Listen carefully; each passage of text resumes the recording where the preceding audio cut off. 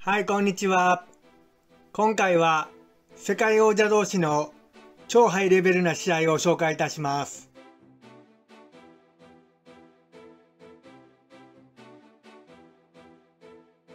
Azuma, the Warrior, Nelson, Burnell, Sweet Pea, Whitaker. フェザー級、スーパーフェザー級の2階級を制覇したアフリカの野生児アズマー・ネルソンは階級を上げ WBC、IBF、世界ライト級王者パーネル・ウィテカーに挑戦しました。ネルソンは抜群の身体能力を生かした強打とスピード、さらにテクニックを兼ね備えたボクサーで、ウィルフレッド・ゴメスやジェフ・フェネックといった強豪ボクサーを次々に打ち破り、世界王者になっても練習と努力を怠らないため、プロフェッサーと呼ばれました。WBC、IBF、世界ライト級王者ウィテカーは、オリンピックで金メダルを獲得した防御の達人で、タイミングのいい右ジャブとサウスポーからの左ストレートが得意です。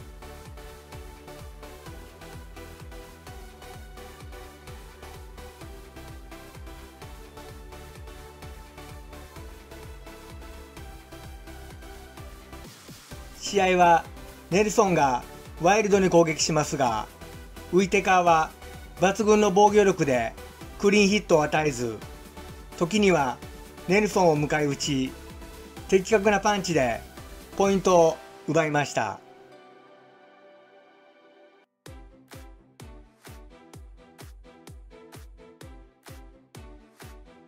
ポイントを取られているネルソンは後半逆転 KO を狙ってガンガン前進しましたがウイテカの牙城は崩せず判定決着となりました。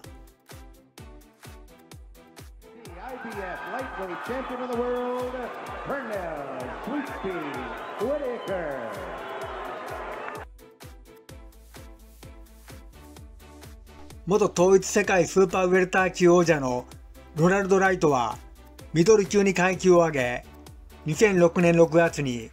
WBC、WBO 世界ミドル級王者ジャーメイン・テイラーに挑戦しました。スーパーウェルター級を統一したライトは赤ん坊の時にウインクしたことからウインキーライトと呼ばれておりシェーン・モズリーやトリニダードなど一流ボクサーを破ったサウスポーの技巧派ボクサーです。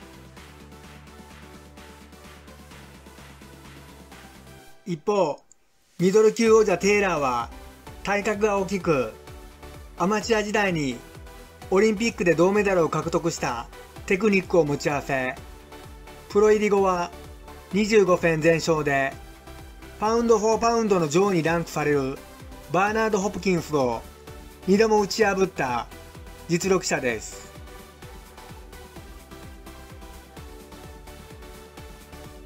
テイラーはミドル級でも大きな体格なので下から上がってきたライトとは体格差がありますがライトは鉄壁な防御とスピードあふれる連打をヒットさせ攻勢に出ました。しかし、テイラーも防御は巧みで、両者打ち合いますが、どちらもクリーンヒットができないハイレベルな展開で、12ラウンドが終了しました。114, a three-way split. This bout is a draw.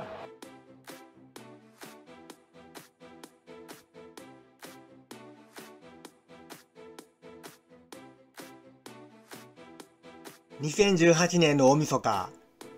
井岡選手はドニー・ニエテスと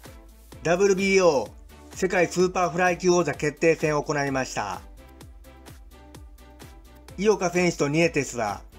共に世界3階級制覇王者で、この試合の勝者が4階級制覇王者となるのです。ジョバン・ニエテスは左ジャブの差し合いで優位に立ち、距離をコントロールしました。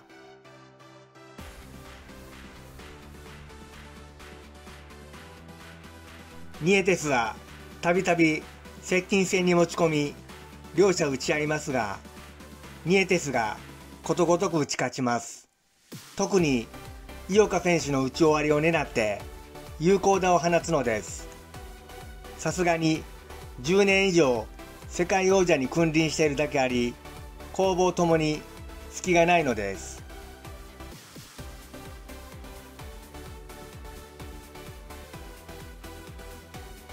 距離ができると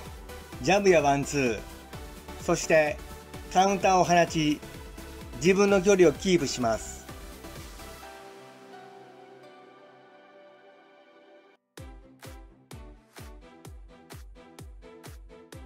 ニエテスは井岡選手のパンチを見切り接近戦でも自分のパンチだけ当てて完全にペースを握りました。ニエテスは身長160センチで、華奢な体型ですが、抜群の距離感、防御テクニック、攻防一体のボクシングを兼ね備えているので、4階級にわたって戦うことができたのでしょ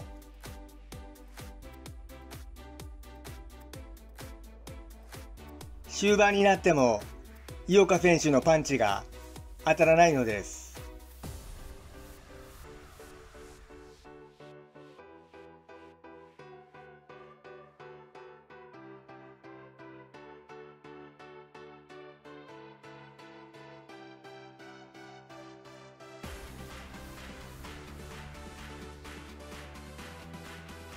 デビュー以来の連勝が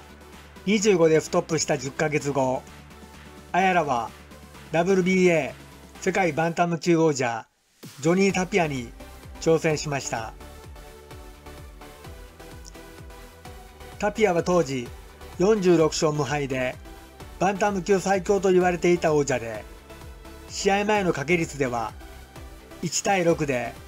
アヤラは不利と見られていましたが序盤から最強王者に打ち合いを挑み、スピードの連打を叩き込み、試合を優勢に進めました。しかし、最強王者タピアは、テクニシャンであるとともに気が強く、真っ向勝負を受けて立ち、負けじと連打を繰り出しました。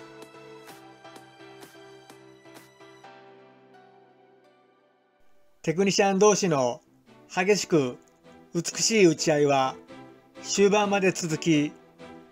お互いの意地も衝突しながら多彩なコンビネーションを放ち、一歩も引かない展開のまま、バンタム級史上最高の名勝負は判定にもつれ込みました。